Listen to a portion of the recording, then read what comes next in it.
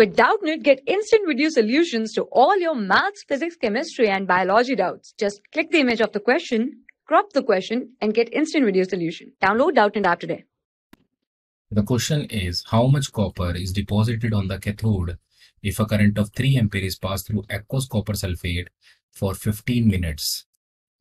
Now we have to calculate the mass of copper deposited. So by applying Faraday's first law, the formula says that the mass deposited is equals to ZIT, where Z is the electrochemical equivalent.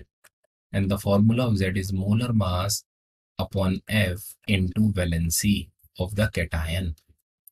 So if we put the values in the formula, the molar mass, the molar mass of copper will be 63.5 by 96500 multiplied by valency of copper is plus 2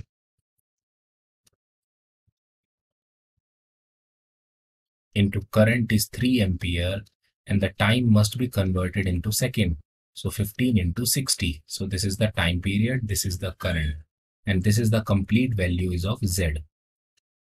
So if we solve all the values given here, we will get the answer as 0 0.889 gram. This is the mass of copper deposited. Thank you. For class 6 to 12, IIT JEE and NEET level.